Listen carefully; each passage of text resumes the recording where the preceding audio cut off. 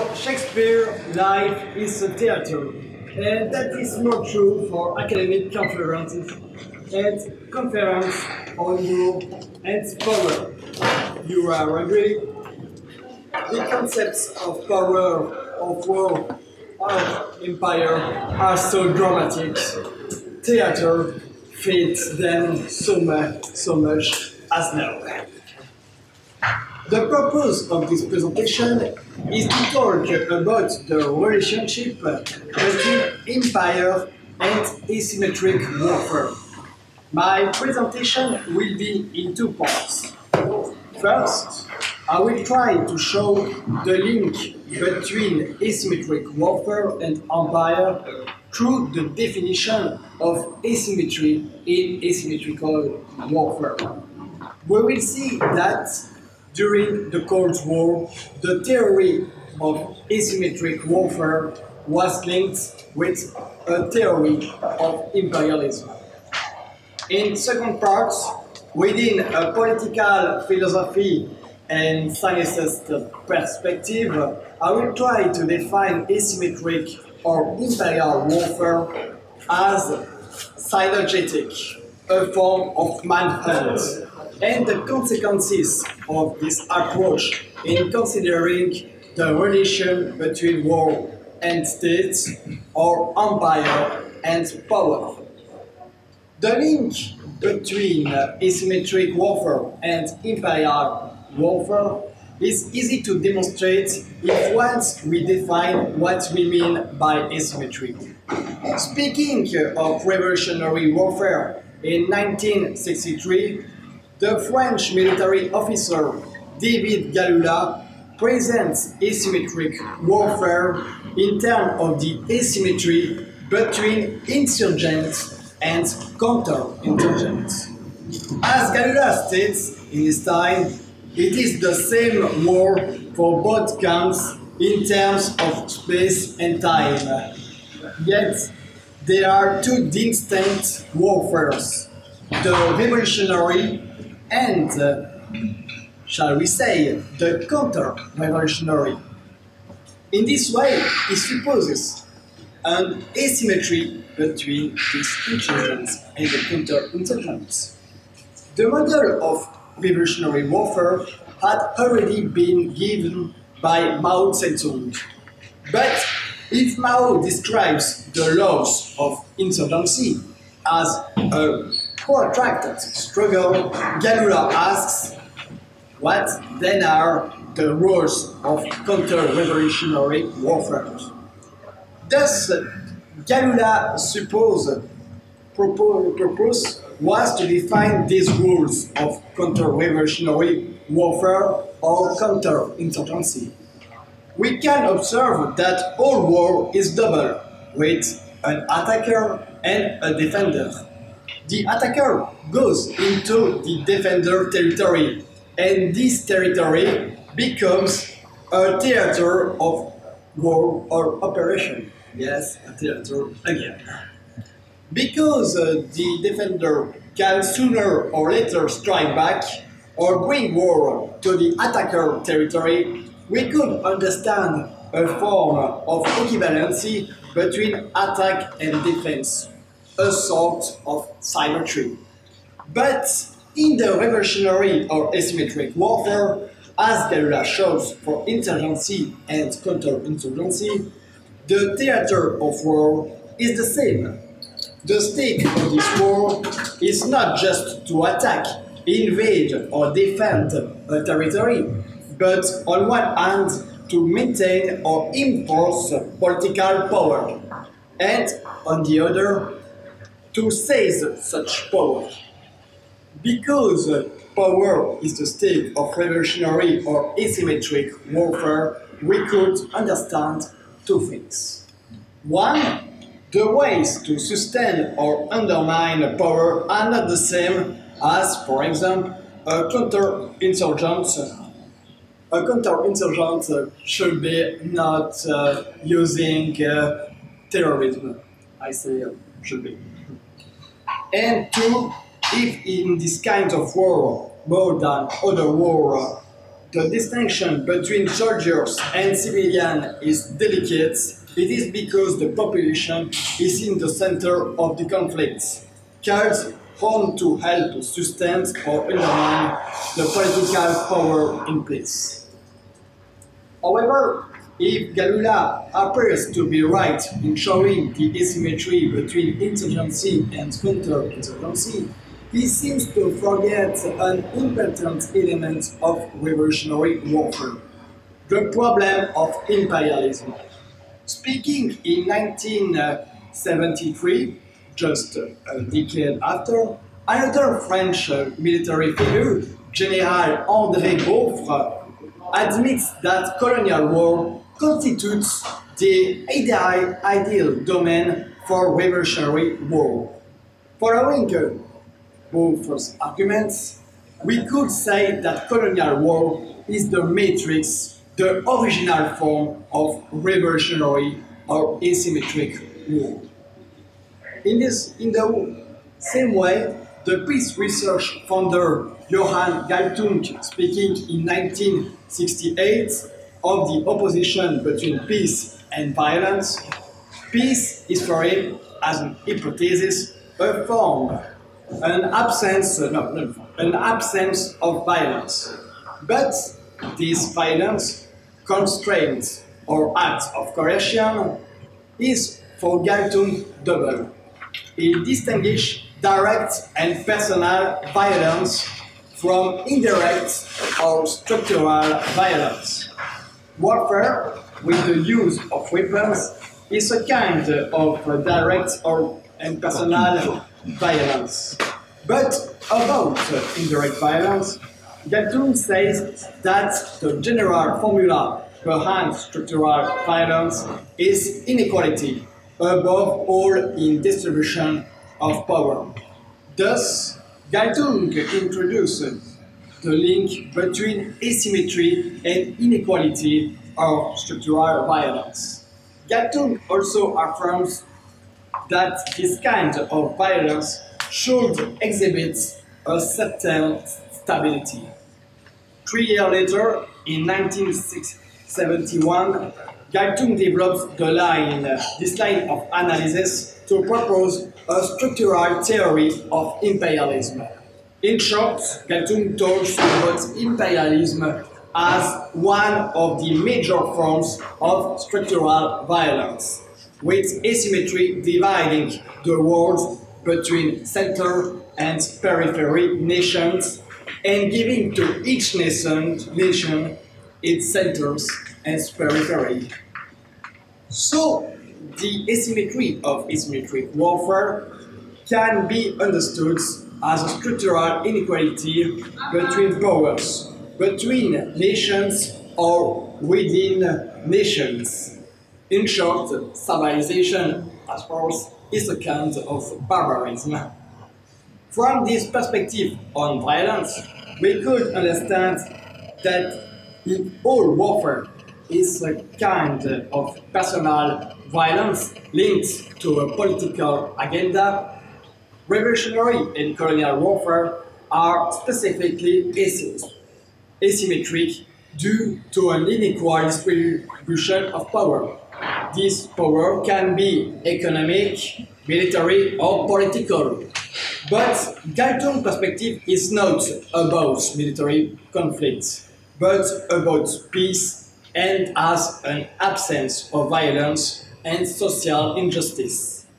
The author that makes the link between Galtung view and military thinking is the British political scientist Andrew Mack, with his famous article Why Big Nations Lose Small Wars, The Politics of Asymmetric Conflicts. Published in 1975, the article posits the link between the problem of asymmetric conflicts and the history of imperial expansion. In the same year, year he writes another paper entitled Counterinsurgency in the Third World, Theory and Practice, a title very similar to that Galula book However, he makes no mention of Galula. These uh, two articles have the same background, the succession of the USA in the role of an imperial power, taking over from European powers. Mike linked, like Galtung, defines the asymmetry as a structural relation because it is an asymmetry of resources. The intelligence can pose no direct threat, threat or the, to the survival of the external power because already noted their lack of invasion capability.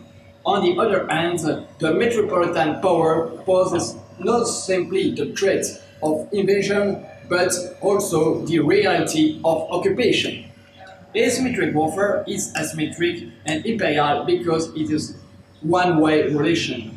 One power can invade and occupy a territory and not the other. It may uh, seem uh, Mack talking about uh, toll roads, and it is uh, may it may seem harsh to, and cynic to speak of a third world war or a war on the third world, but I think this term is uh, this is uh, real appropriate is appropriate in view of the violence that maintains the asymmetry of power in a cruel stability. And I can just say, lasciate ogni speranza. Peace. Now, I would like to propose a working hypothesis, or a thesis, for political philosophy in today's reality. How do we characterize empire and the asymmetric warfare of empire? To answer that question, I take the idea of the French philosopher Grégoire Chamayou, best known for his uh, theory of drone. In this book, he talks about cynegetic warfare to define today warfare. And cynegetic warfare is a form of manhunt. But he defined uh, more largely uh, in a previous book, manhunt, uh, what he il want to see, to say for uh, cynegetic warfare and say that for all colonial war and civil war. This uh, definition of uh, warfare is in five points. It says this war takes not the form of a fight but of a hunt. The balance of power is marked by a radical asymmetry of weapons it's true that it's not that of a duel. A third term, as a dog, is uh, mobilized to mediate. For we don't recognize the enemy as an enemy, but an equal, but as a prey. We use non-number means, including police or hunting tactics, rather than classic military means because the difference of uh, military power is so substantial, we don't fight the enemy, we hunt him. And in response, he prefers to avoid the classic military engagement and hunt back with terrorism and guerrilla warfare. But the hypothesis of Chamayou goes even further. If he thinks of asymmetric warfare as a manhunt, he uh, also redefines the logic of this manhunt. While Hegel defines war and political and theory through the prism of his two famous master-slave dialectic, Chamayou proposed a dialectic of the hunter and the dialectic sorry, of uh, proposed the dialectic of the of the hunter and the hunted, because not only does the master hold the glory above the value of uh, human life, but just capture the slave. It's, uh, it's just uh, that. as Frederick Engels uh, says for Karl Marx, uh, put the Hegelian dialectic on the, this on his feet, Chamayou uh, proposed is in the same way. And if Hegel's uh, master-slave dialectic was adequate for conceptualizing war and state or power, the intercontinental model proposed by Chamayou extends the argument to address the empire and its endurance.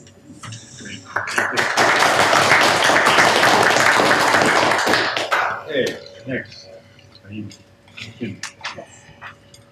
Um, so my paper is a consideration of transnational corporations. as- um, uh, my paper's a consideration of the transnational corporation as an empire, as an approach to understanding the dominance of transnational corporations. Uh, unlike Hobsbawm's Age of Empire, wherein imperial domination was effected through the colonization of territories via military might, the domination of these corporations is putatively economic, effected within and through market capitalism.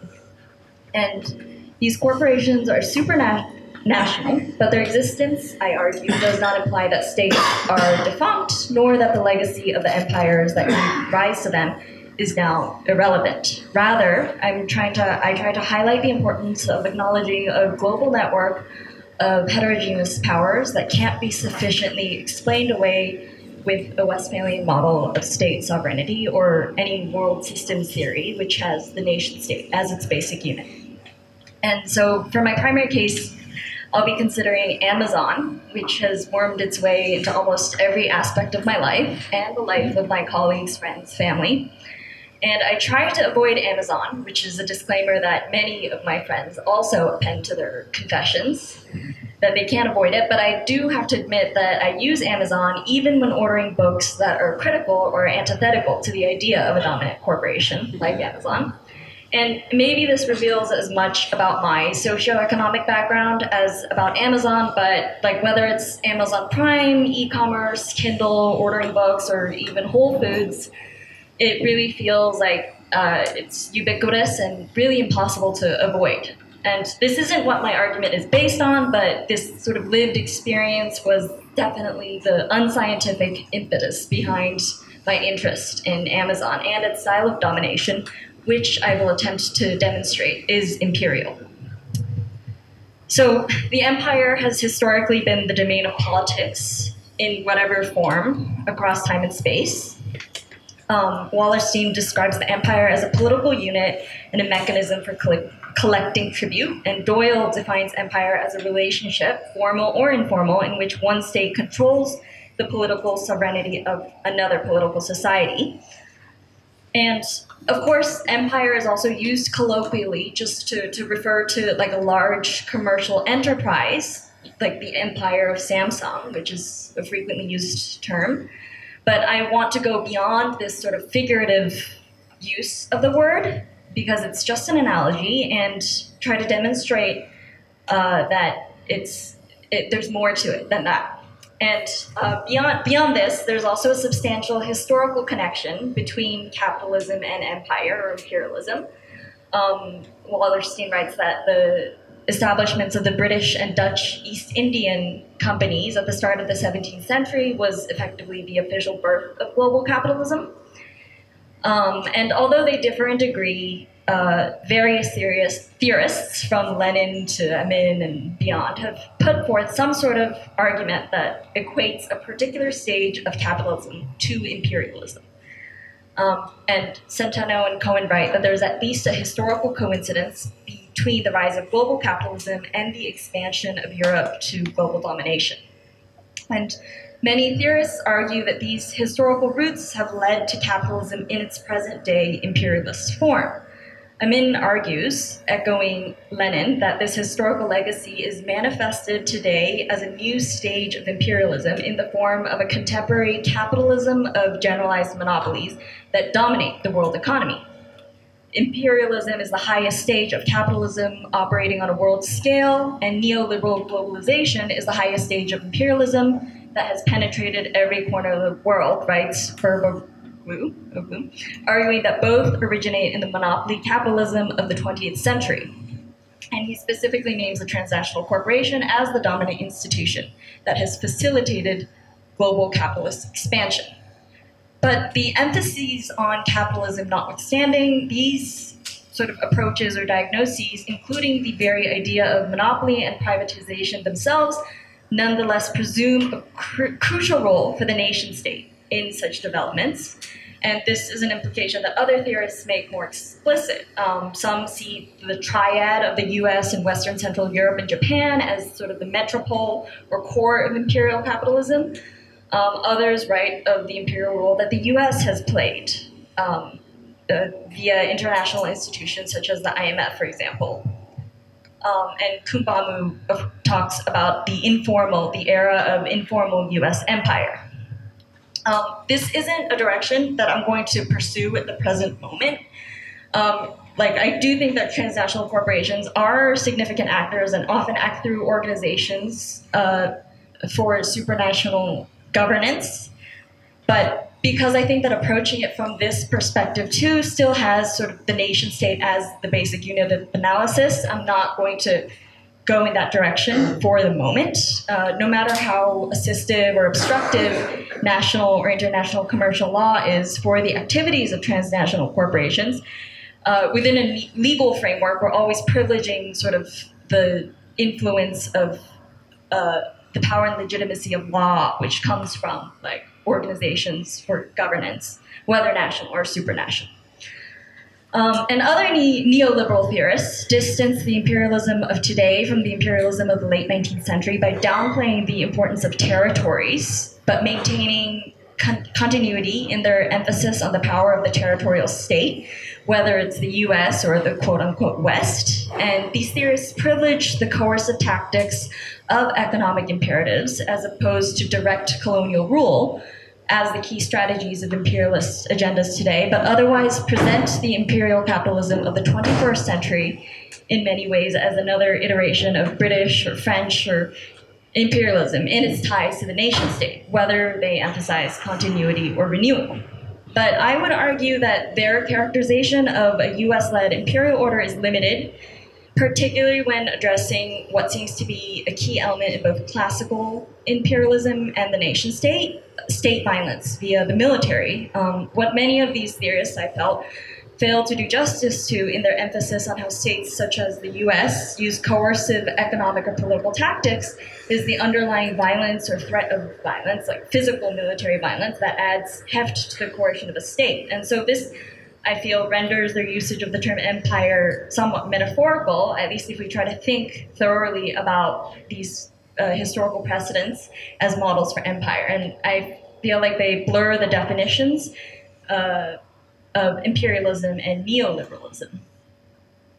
Um, and but but I also feel like in in some ways many of these theorists are implicitly or explicitly writing against the concept of a supranational empire with a capital E introduced in Hardt and Negri's Empire, um, who argue that the the, the, political implications of their idea that national divisions are disintegrating and that the world market tends to deconstruct the boundaries of the nation state and that the nation state is no longer a key actor.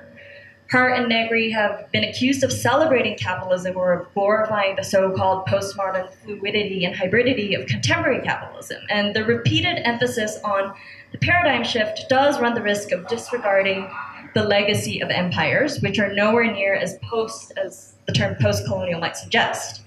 But their argument that empire introduces new hierarchies and networks of power, and that there has been a, a huge shift, and that current geographical divisions are no longer sufficient, I felt that that held much promise, especially in the concurrent shifts in the nature of state violence and their theorization of war under empire. Um, but rather than uh, taking their call to look beyond the nation state as an invitation to disregard the role of the nation state entirely or to like abstractify sort of the concrete conditions of labor in actual like geographical locations, I wanted to focus on rethinking the role of other non-state actors and how they interacted with nation states and how non-state actors interacted across borders rather than one subsuming the other. And I want to examine Amazon through the frame of empire. And this frame is in basic agreement with Hardt and Negri's claim that there has been a sort of shift or rupture in contemporary capitalist production and global relations of power without necessarily subscribing to the new world order of capital capitalized empire that they describe. And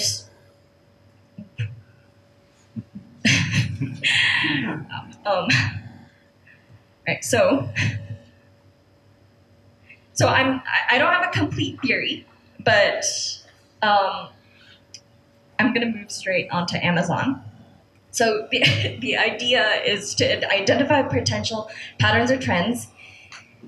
And um, oh, I'll start with Amazon. Amazon is a retailer, marketing platform, delivery and logistics network, a payment service, a credit lender, an auction house, major book publisher, producer of television and films, fashion designer, hardware manufacturer, and a leader host of cloud server space.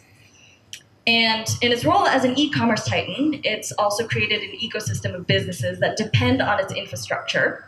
And that, that's what makes it the part of what makes it do, so dominant. And of course, it superficially behaves like a predator, a dominator. Uh, but really, the impulse to theorize about Amazon as an empire, specifically, as opposed to simply acknowledging that it's big and dominant in the global economy, uh, has its origins in several different aspects of Amazon, which I felt uh, reson- have resonance with empire as something that completely envelopes us and like, controls various aspects of our lives. First is that Amazon is supranational, supranational in the simplest sense, uh, in its international consumer base and its vendor base. Amazon Prime has more than 100 million subscribers worldwide, and 64% of US households have Prime subscriptions. And according to a recent poll, 92% of Americans who shop online have purchased from Amazon. So, in the sense that it's a monopoly, it fits the narrative of imperialism as monopoly capitalism. Um, and second, while the state isn't defunct, the fact that Amazon's fortune is being funneled into space travel and exploration company of its owner, Jeff Bezos, alerts us to the possibility that the traditional roles of the state are surely being challenged. And privatization implies sort of state initiative. This is, I feel, a different scenario. Um, and in the same vein, the madness surrounding the competition uh, named Amazon HQ2 among US cities to become the location of Amazon's second headquarters, it's reminiscent of seemingly less competitive Olympics host city bids. Um, and HQ2 is clearly not Amazon versus nation state, but if any of these cities' bids should become accepted, it's at least been raised as a possibility that a city in Georgia might be renamed Amazon, with Jeff as the per, uh, Jeff Bezos as the permanent mayor. And in Boston, Amazon would get a team of public servants dedicated to lobbying for Amazon to the Bostonian government. While in Austin, Amazon could become the quote unquote social fabric and future of the city. And third, Amazon, not just Amazon itself, but its owner and Silicon Valley, from which it is separate but also associated with, creates a certain kind of culture and produces certain kinds of self legitimating knowledges. Neither imperialism nor colonialism is a simple act of accumulation and acquisition the side, who talks about the impressive ideological formations um, that include notions that certain territories and people require and beseech domination. Many of the knowledges produced by Amazon draw on larger myths and ideals of Silicon Valley capitalism. Silicon Valley might be the so called metropole, and it's characterized by a self conscious altruism built on a belief in exceptionalism. And this pattern of beliefs, behaviors, and narratives that circulate among the tech elite of Silicon Valley has echoes of an aristocratic noblesse oblige tinged with a quasi Enlightenment belief in the potential of humanity. Um, and Amazon doesn't wholly subscribe to these ideologies, but neither has Amazon, despite its reputation issues, labor issues, and noted lack of philanthropy, as criticized by various US politicians, has been truly damaged by it. And it's is it because, as Wood writes, exploitation under capitalism is opaque? Because on the face of it, capitalists and labor are equal, and Amazon's workers are also Amazon's consumers. And do self-reinforcing ideas about the necessity of Amazon play a role at all?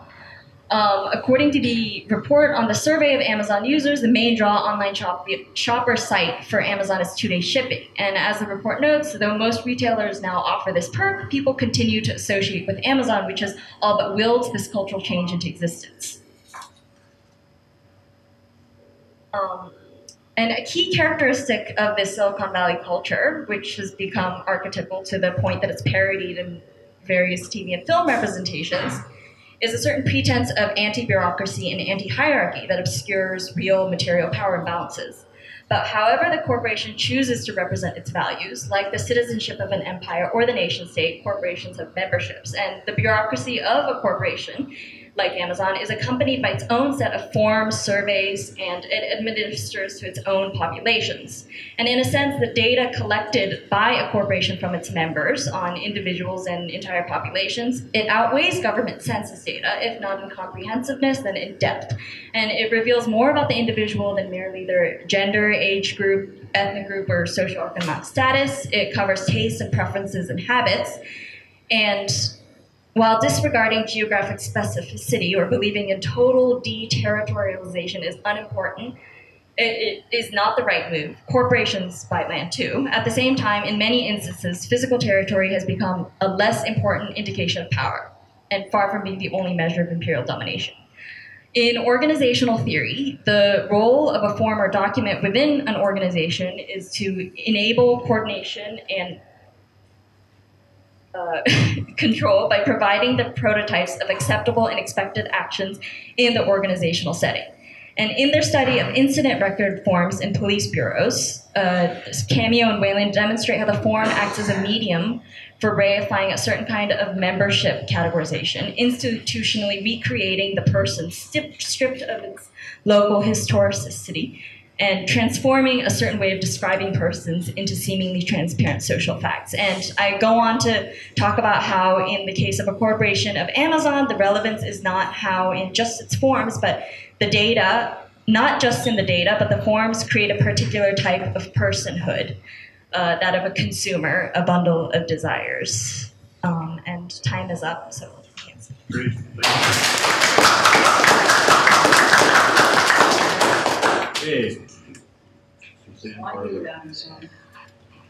This is a geek moment. Uh, again, uh, geekiness uh, personified. Uh, we've got uh, a lot to cover, so I'm going to move pretty quickly. Just to prove to you that geeks can contribute to some extent uh, in this very, very rich discussion of political theory. Um, three years ago, I submitted a paper to uh, this conference on uh, fake news, basically, online uh, political uh, uh, manipulation trickery and all that. And I was greeted warmly, got some good response for the paper. That's this conference. A lot of you attended that. and so I, I guess fake news is still in the news, isn't it? Uh, I guess some of the concepts that I was uh, working on way back when, which were seemed, uh, you know, it seemed rather odd to be talking about, are indeed uh, important today. And a little bit about my background in terms of artificial intelligence, because a lot of you have associated me with that because of that um, uh, presentation and a few other things I've written. Uh, AI has a lot to do with the issues that we're going to be talking about. Uh, why, why would it be? Because, of course, uh, we cannot be sending astronauts into uh, all of these areas. We need to have some type of uh, intelligent manipulations, and AI has been associated with these for a long time. This just came out, and if you'd like a copy, I still have legal copies to give out, uh, copyright uh, appropriate copies and all of that before I do the illegal copies, okay? You can, you can get my drafts. Uh, but indeed, uh, this is uh, um, reflecting uh, the Star Wars era, okay? As you can see, I'm a little long in the tooth, uh, and I've been teaching artificial intelligence and AI, as well as IT issues for over 30 years. And so back in the 19 80s, we were fighting something that a lot of you remember, Reagan's Star Wars, okay? We'll talk about the uh, uh, science fiction linkages to all of this get into some uh, uh cartoons as well. Uh, but again, the, the Star Wars notion, uh, we could shoot missiles out of the sky with intelligent pebbles the smart pebbles notion. I was writing on the smart pebbles notion, whether or not that would be possible. A few missiles might get through. They might be nuclear. Well, that's a mistake. It's a bad Tuesday. You know what? What can we say? But that's the type of thing that uh, people who have at least some background, some knowledge, some some uh, uh, acquaintance with this, which we can all get, which all of you have indeed, uh, uh, and, and you need to bring into play because, uh, of course, we're, we're entering all these issues. I loved what uh, Russell was saying early on. We need to be talking about the internet. We need to be talking about the new technologies as we move along. So again, um, I was reflecting on that with my work with the computer for professionals for social responsibility. Study just out on artificial intelligence and war that people are becoming more attuned to these issues. Can we have AI as a part of war? And uh, it's not the only aspect of space, but indeed uh, uh, it's an aspect of interest. Uh, we still have a very divided nation as to whether or not that's appropriate. Um, uh, uh, material here that, that drills down a bit, uh, what, 30% or something like that, are saying it's appropriate. But if other people do it, and other nations and other corporate systems uh, are involved in it, maybe we'd be uh, uh, thinking differently. let's put it that way. Okay, so what do we mean by outer, outer space? Lots of outer space issues in the news. What are we talking about? Uh, SpaceX? Uh, we're talking about, oh, over dinner, some of us were saying, is Musk out of his mind or not? Uh, uh Elon Musk. Uh, let's see, what are the, uh, the, the, plans here? Um, maybe in six years, okay, where we'll be shooting up um, uh, and, and, and uh, uh, missiles, and we'll be setting up the, the infrastructure for space colonization of Mars. who's interested in, in the moon? Uh, Bezos, we were talking about Amazon. We didn't coordinate, but we had some fun talking about these issues before the uh, um, conference started. But space is empire. Uh, let's move along. Of course, um, science fiction concepts. Um, they're they're e easily at hand. Again, the Star Trek, Star Wars notions and all of that, that we're going to be uh, seeing in the recent discussions on space as empire. And of course, uh, these issues provide uh, an amalgam of commercial and political concerns. You need, you need to have expertise. Okay, Bob uh, Rushline, many of you uh, were talking about the engineering aspects, and of course uh, Wayne was talking about that as well. We'll, we'll uh, I hope at the end, uh, link back into some of these, um, not just in space, but in the biological aspects, the new genetic engineering notions as well. And of course, Space is Empire rooted in the technological considerations and professional communities that I've been a part of for a long time. We collaborate. I collaborate with uh, people from Kuwait, not fond of the government over there, collaborate. Uh, with people from Russia, not fond of what's going on, I collaborate. It's technical. We do this. That's what uh, what it's about. And so I think some of that needs to be reflected in the political theory here. Uh, we're dealing with a new world. We're um, uh, coupling with immediate and practical uh, concerns. I'm going to push on so I can get to the space junk thing because I think that's the key. Space debris. You can weaponize space debris. Some of it, as we were talking about this morning, does uh, disintegrate, uh, and we, it's not an issue but the weaponization of space debris, and I didn't bring up my, up my pool cue, cue uh, but you can actually weaponize space de uh, debris to the point at which you won't have your fingerprints on it, and you can knock one of those satellites out of space, that thing that you're hiding, it's okay, you're, I know you have to check your email, uh, or send text, uh, we all do it. Uh, that will stop, okay? It'll stop. You won't be able to have your uh, Internet of Things work in your homes. Your, your, your, your, your, the heat will, will uh, uh, uh stop. The water won't flow. Uh, you can you can have warfare. I mean, when you folks are talking about warfare and violence, I'm talking about real violence, which is turning off the heat in Madison, Wisconsin, which you can do by uh, disturbing satellites in space. That's violence. Okay. And of course, we have linkages to the law of the sea these, these concepts, Gideon this morning. Yeah, we're dealing right now with pirates. I'll, I'll show you a pirate coming up. So we've got to, we got to get moving. Uh, we're at that level, which is why history is so important. How do pirates operate?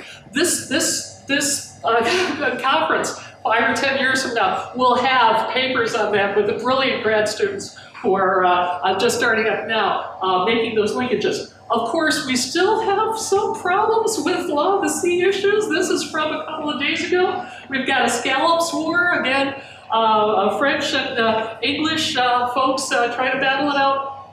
Uh, but we've got other recent events. Okay, I started writing this paper and it was kind of mundane, you know, and it was, you know, uh, maybe in a few years, some of these issues will come to the surface. And as I was writing a couple of months ago, uh, uh, President Trump precipitated, let's say, he brought to the surface so much of what's happening, okay? Uh, I, am involved with a little uh, project over at NASA, and I got to talk to, with, with a bunch of astronauts and ex-astronauts um, about what's happening, and there's so much military stuff. It's been there for so long.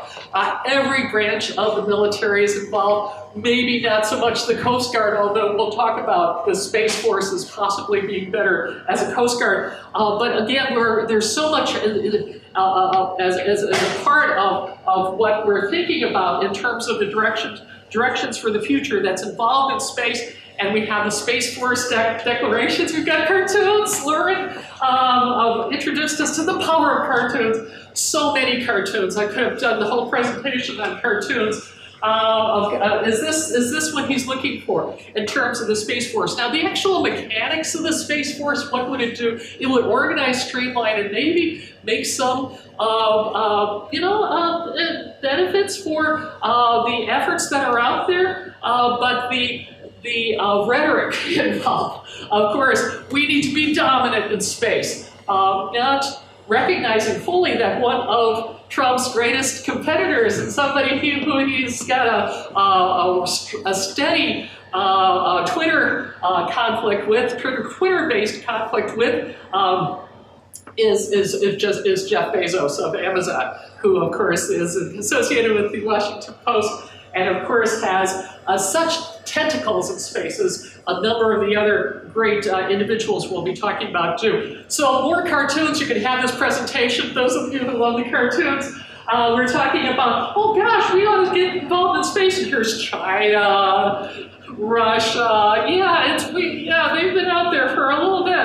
Uh, and again, the, the, the interactions propelled by the need that we have as, as people who are involved in technology to collaborate uh, are, are intense. Now, others, uh, cartoons, a little bit sarcastic, we're sending Trump out into space. Okay, uh, uh, not, not to be political, but this is part. We did have a positive cartoon, we have a negative cartoon about the uh, uh, five minutes. Yeah, I can do this. Okay, so the focus of many analysts. Uh, yeah, it's going to be a lot of money, okay? Huge money. We're talking uh, Morgan Stanley, conservative, a trillion dollars pumped into corporations, not just Amazon, of course. Uh, we've got uh, um, uh, Google into. Uh, let's let's let's leave the list off. It'll be too long for me to to repeat. Um, a space guard or a space force, unfortunately, something with, became incompatible here. But the notion of the modeling the space force after a Coast Guard uh, actually has some sorts of uh, resonance. Unfortunately, the, the, uh, the uh,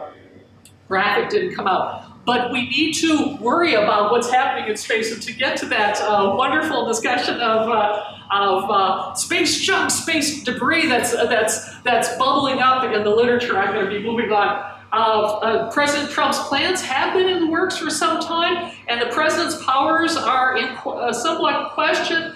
Uh, maybe he's going a little too far. France is trying to get into it. Here we go. Uh, and of course, space law is evolving. Uh, what type of space law? lots and lots of material in the, in the presentation. If you'd like to drill down on the slides, you can enjoy the picture of uh, uh, Trump portrayed as an astronaut.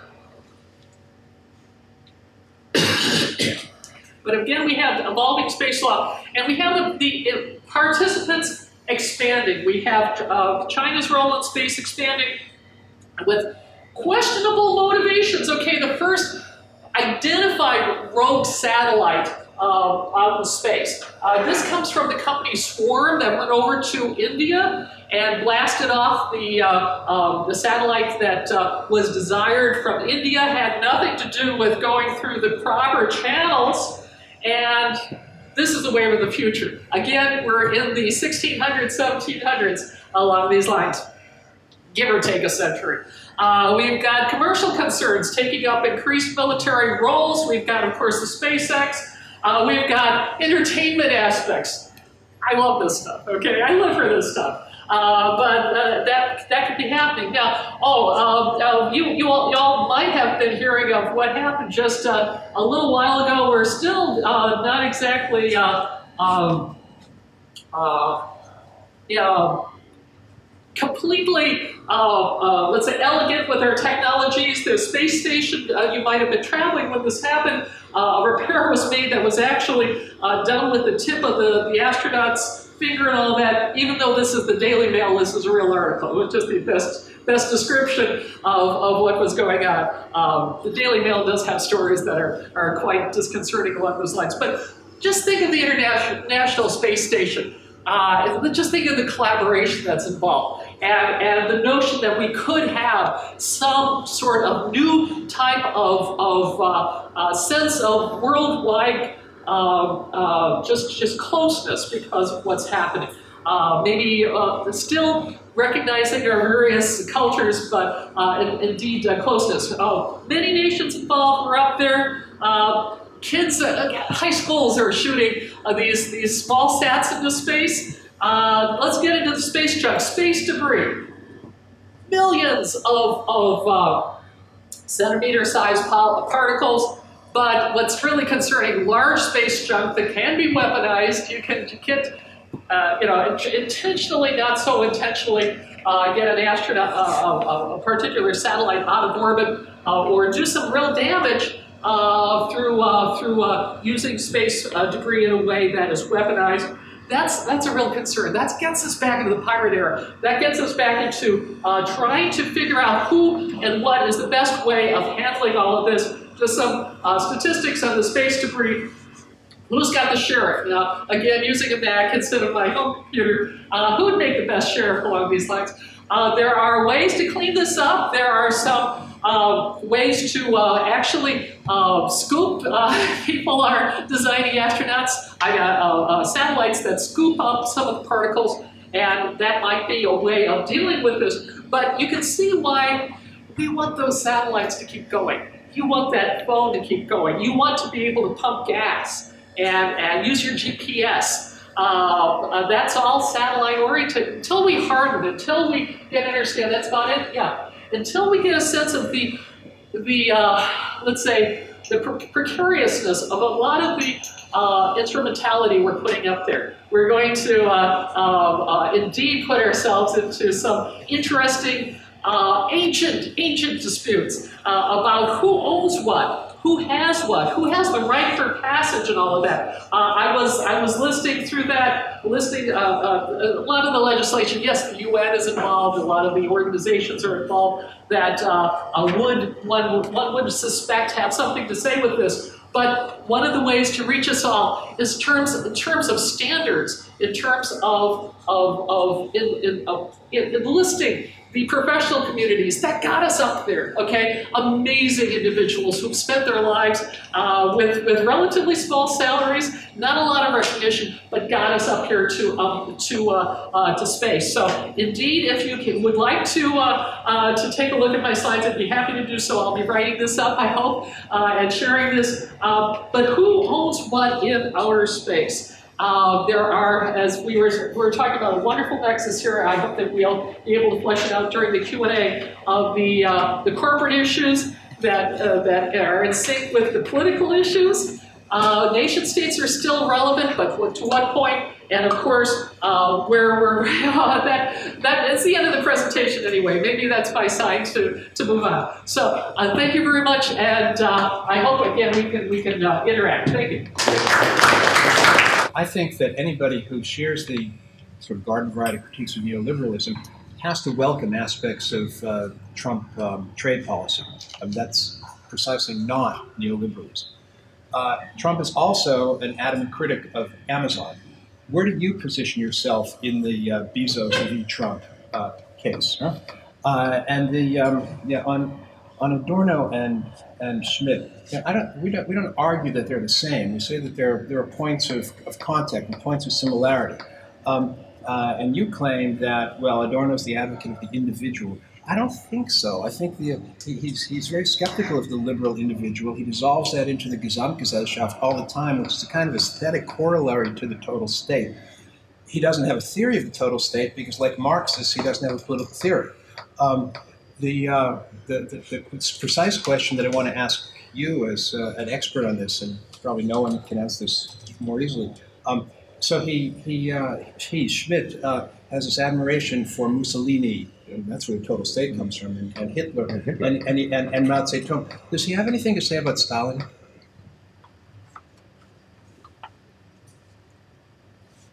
Um, so can I just repeat the question back? You said, uh, if, um, you, you asked me where I position myself, um, regarding Trump being an adamant critic, uh, critic of Amazon and like if, if, if you, How, how do you Like, see you Trump's critique of, uh, of Amazon? Is it, is, it, is it the same critique you're making, or is it different? um, I don't think Trump's critique of Amazon, like my critique of Amazon is not so much, um, like a critique of Amazon so much as uh, I, I think that like d- regardless um, of whether like the state policy is neoliberal or not, I think Amazon or the transnational corporate as empire has like it's grown to such an extent that it doesn't really matter. So Trump's Uh, critique, I believe, is more uh, tax centric. That he's been dodging taxes by Seattle and funneling patents through. Yeah, the, the specific policy law aspect of this, I mean, I think, I mean, I guess the point is that if, if, I'll say, we, you know, want to be critical of Amazon and the, the economic regime that it represents, I think you've gotta recognize that, uh, Trumpian populism is making that critique. against Amazon. Yeah. Then sort of scrambles the political polarities.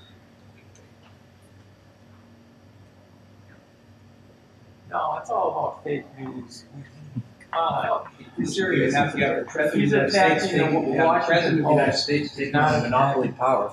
And uh, and and calling for its regulation. That's uh, yeah, that's that, I mean that, that's pretty enormous. Yes, if you take yeah what he says at face value and yeah like think about it. Yeah. Sam? We're not European. And I'm not saying that just to be a persnickety historian. There's an important theoretical point. Uh, the first, for example, uh, globalization, merchant capitalist globalization in uh, Africa is in the 10th century with the spread of Islam across West Africa and, and then along, along the, the east coast of Africa uh, uh, with the, the uh, Arab Empire. And we, we, can go back further. We can talk about the Chinese establishing their merchant capitalism throughout Asia. Uh, we can even go back further. I, I know Tunisia very well. The, the living history of Tunisia is a, is, a, uh, um, a, a evocation of Carthage.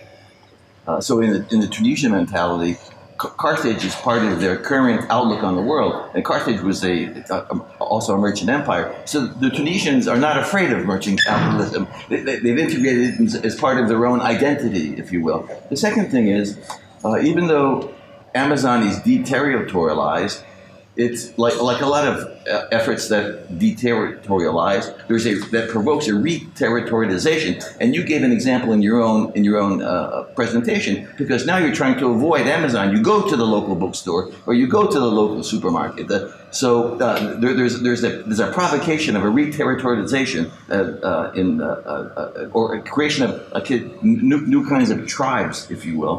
Um, and for Sam, if if, Schmitt were to consider the United States not as a maritime power, but as a, both a continental power and a maritime power, because it is, it has been that, how would that change anything? And even if the United States is only a maritime power, uh, I would say this because, uh, of course, I've already mentioned to you that I know all about Vietnam, and my, my experience of Vietnam is from the Vietnamese point of view because the American government forced me to learn Vietnamese to, to, to do my job.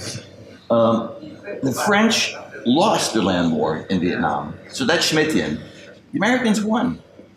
The Americans won precisely, uh, I think they won the war in Vietnam for the social cultural reasons, uh, because now Vietnam is Americanized if you go there, to such an extent that now the foreign ministry of Vietnam calls me to come in and train their diplomats. Uh, I, I was the, the military loser, even there, there we can have a debate. So just on the social cultural dimension, you know, isn't this a problem for Schmitt? But since, since I won't probably get a chance to answer any questions, I, I, you know, I am compulsive along these lines, we've got new territory. Mars, Okay. okay, Mars, the moon, that's new territory. So in effect, I'm, I'm answering what you're saying in the, all- in in There's a the re-territorialization even though It's- there's. It's new ter- territory, exactly. You got to say. Very, oh, very good, oh, sorry. My question is about just the, the, kind of political reach of, uh, of Amazon or any corporation. And I guess it's a question of, well, you know, we have an example, I guess, of Google, uh, which has same kind of reach as Amazon, except in China, right? Because China has basically prohibited Google from, Google services, uh, from, from operating. So uh, I guess that- that indicates that, that, you know, as much kind of global reach as Google or Amazon can have, they run into a pretty hard wall when any particular sovereign government says, no, we're going to exclude you um, from our territory. So, uh, so I mean, I think in the past, you know, you know, we've got examples of something like the, the British East India Company, where you've got a kind of collaboration between kind of military power and commercial power that's able to open up sort of recalcitrant regimes, and you've got like maybe the, the, the opium is an example of that.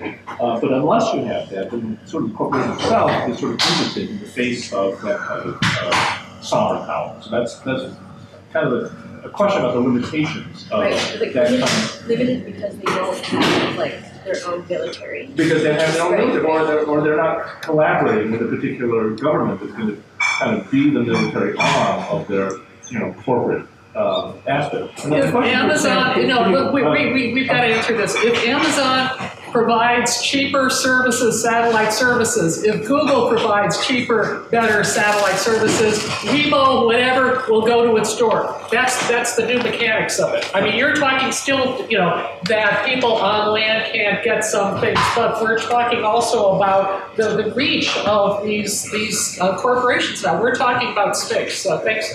So for Sam,